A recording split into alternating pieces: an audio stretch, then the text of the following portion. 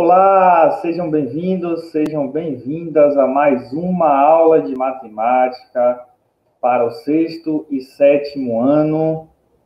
Eu sou o professor Iago Ramos, sou professor de matemática da Escola Municipal Faustino Dias Lima.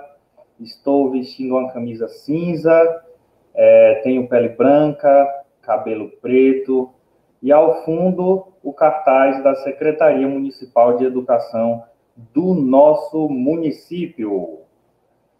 O que é que nós vamos aprender nessa aula? Nós vamos dar continuidade às coisas que nós já vimos nas aulas anteriores. Claro, com uma outra proposta, com um novo tipo de aprendizado, mas a temática ela será a mesma. Então, ainda nessa aula, nós vamos aprender a interpretar, entender, né, a dar nome, comparar figuras geométricas espaciais, cubo, paralelepípedo, pirâmide, cone, cilindro, esfera, e tentar enxergar essas coisas no mundo físico, ao nosso redor, objetos e coisas que nos lembrem essas figuras geométricas espaciais que nós conhecemos, na verdade, lá da aula 1, como sólidos geométricos, né? E nós vimos que tudo à nossa volta tem uma forma. Tudo à nossa volta tem uma forma. Tudo à nossa volta tem altura, tem comprimento e tem largura. Os sólidos geométricos são essas figuras que têm altura, comprimento e largura. São figuras de três dimensões. Então, por exemplo, essas imagens que aparecem aí, né? O que é que elas têm? O que é que todas elas têm, tá? Então, nós temos aqui um desenhozinho de pirâmides, olha, isso aqui lembra o Egito. Uma joia aqui. Então, tudo isso aqui, né? Todas essas figuras têm uma característica que faz parte de todas elas. O que é que a gente consegue observar que tem em todas elas? Tá bom? E o que tem em todas elas é que elas, é, as suas faces laterais são triângulos. Eu quero deixar isso bem claro para que você entenda. Nós temos, nesse tipo de figura, uma base, que é a tampinha de baixo, é o que apoia o sólido geométrico em uma mesa, por exemplo, e em volta é o que a gente chama de faces laterais, então, naquelas figuras, eu vou até voltar a tela para você. Se a gente olhar direitinho, o que envolve essas figuras, o que está pela lateral dessas figuras, é o que a gente conhece como triângulo. Tá bom? Então, você já pode fazer é, essa, é, esse exercício de observar aí à sua volta objetos que tenham essa característica. Então, tente olhar aí aonde você estiver e tente ver se você consegue observar um objeto ou coisa que tenha em suas laterais esse formato, né? Que tem em suas laterais triângulos. E se assim a gente conseguir perceber, nós estamos falando de um sólido geométrico que é um poliedro, não é um corpo redondo. Nós já vimos essa aula. É, as pirâmides, tá bom? E quando a gente ouve falar de pirâmides, a gente lembra logo do Egito.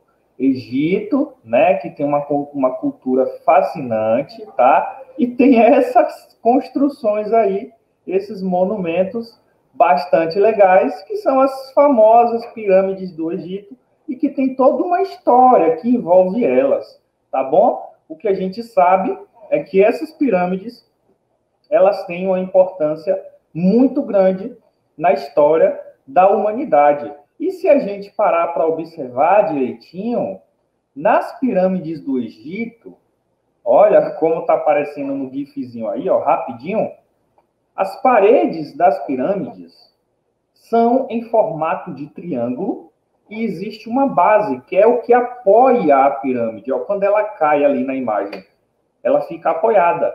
Essa parte que apoia é a base, a gente já sabe disso, é a tampinha que fica por baixo, tá bom? Então, as pirâmides do Egito recebem o nome de pirâmides mesmo por conta do poliedro geométrico chamado de pirâmide.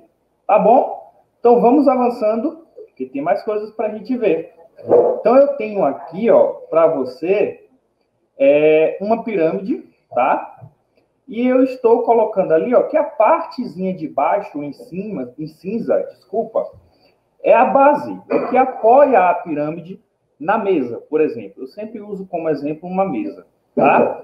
E a parte em verde é a lateral, são as faces laterais. E essas faces laterais são triângulos.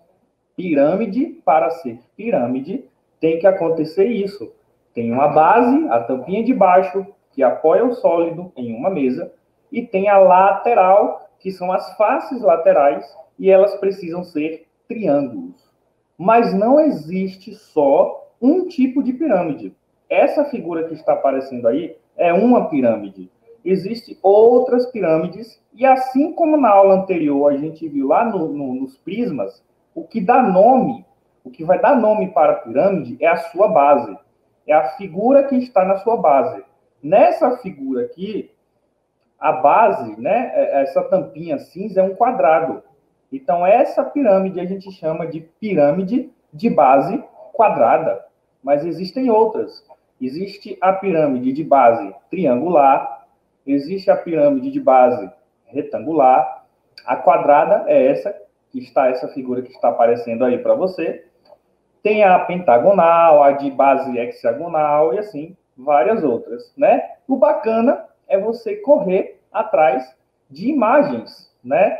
Dessas figuras, dessas pirâmides, tá? Então, vai no Google aí, dá uma pesquisadinha em cada uma delas, olha só, pirâmide de base triangular, pirâmide de base retangular, pirâmide de base quadrada, pirâmide de base pentagonal e pirâmide de base hexagonal. Pesquisa imagens de cada uma delas aí no Google para você ver como elas são bem bacanas. Tá bom? Bora avançar? Belezinha. Acabou. O que a gente precisa entender sobre pirâmide nesse momento é isso. É saber o que é uma pirâmide, saber dar nomes para ela, como a gente acabou de ver. Isso vai depender da figurazinha que está na base, tá? E entender que existem objetos e coisas no mundo físico, no nosso mundo real, à nossa volta, que vão lembrar esse poliedro chamado de pirâmide. Então, vamos revisar rapidinho. Pirâmide, o que é uma pirâmide? Pirâmide é um poliedro. Poliedro não é corpo redondo. Nós já vimos isso. Lembra? E a pirâmide é um poliedro que tem nas suas laterais triângulos. As suas faces laterais são triangulares. A base, a tampinha de baixo, que apoia o sólido, pode ser qualquer figura, tá? Mas a lateral, o que envolve esse sólido, precisa ser triângulos, tá? E aí alguns exemplos, alguns nomes de pirâmides, eu trouxe três, mas existem várias outras. Você pode dar uma pesquisadinha e encontrar essas imagens aí na internet, tá? Então eu coloquei aqui a de base triangular, a de base quadrada e a de base pentagonal, mas existem outras tantas. Belezinha? Bom, e o que eu tenho para você agora é o seguinte: eu vou te desafiar, certo? A confeccionar uma pirâmide de base quadrada. É você construir essa pirâmide. Tá bom? Então, como é que você vai construir uma pirâmide de base quadrada, certo? Então, é isso que eu vou te desafiar agora, para que você veja que é muito fácil fazer isso e com os materiais muito simples, muito simples. São materiais que você com certeza já deve ter, né, em sua casa, tá bom? Então você pode fazer e os materiais que você não tiver, você pode adaptar com objetos que você tenha em sua casa para poder fazer a, a, essa pirâmide de base quadrada. Basicamente, o que você vai precisar é de uma réguazinha. Professor, e se eu não tiver a régua, a gente acha alguma coisa em casa para poder adaptar e usar como régua, não tem problema, tá bom? É uma cartolina de qualquer cor, né? É, pode ser cartolina, outro tipo de papel, não tem problema. Um lápis, que você vai precisar riscar. Você precisa também de uma tesoura, de preferência sem pontas, tá bom? Para não se machucar, ter a companhia de um adulto por perto para fazer junto com você.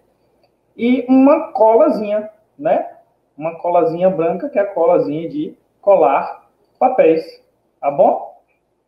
Então, vamos ver como é que a gente faz essa pirâmide de base quadrada usando esses materiais. E aí você já vai relacionando o que você vai fazendo com possíveis objetos é, à nossa volta que possam ter esse formato, o formato de pirâmide, tá bom? Então, vários objetos a gente pode encontrar à nossa volta que tenha esse formato, né? E falou de pirâmide, a gente lembra logo lá do Egito com aquelas famosas construções, tá bom?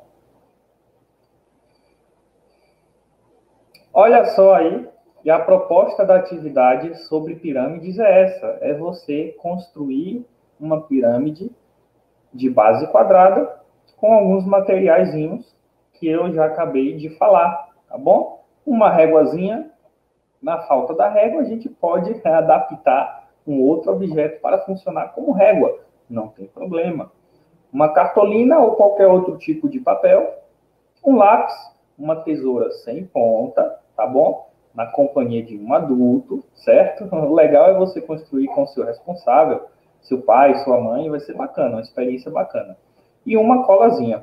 Então, nesse material aqui, tem o passo a passo mostrando como fazer como construir uma pirâmide de base quadrada usando aí é, os materiais que eu falei, tá bom? Então, com esse material, você acessando, seguindo aqui, ó, número 1, um, faz primeiro a etapa do número 1. Um.